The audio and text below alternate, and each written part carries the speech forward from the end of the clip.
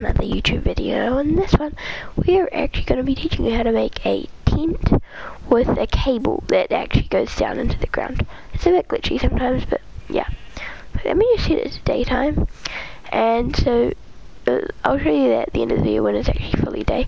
But what you do, so how to make a tent, which most people know. I was going to just start it when you already made the tent. I'm just going to teach you how to make this bit and how to make the smoke go higher in a campfire. So, getting into it, we need to just go one, two, three, four. Go one, two, one, two, three,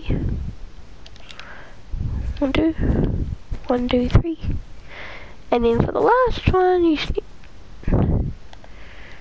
need to go do do do. So yeah, like that. Then you want to go down. Okay, I'm kind of thirsty. I'll do the video quickly.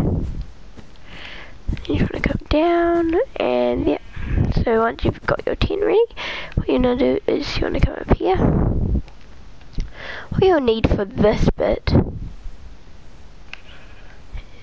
is a um, fence post, a lead, two sheeps, and a name tag. The name tag, that's matter, whatever it's called. And you also need an anvil to, to do the name tag thing.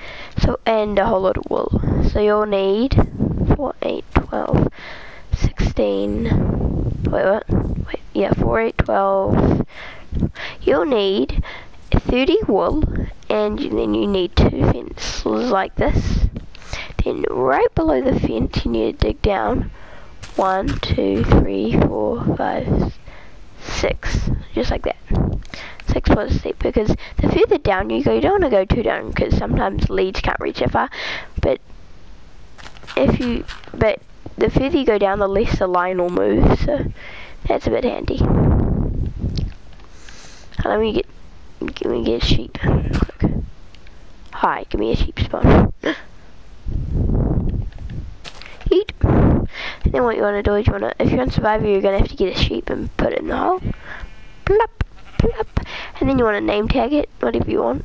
So I'm going to name tag this sheep. That, because it was a short name.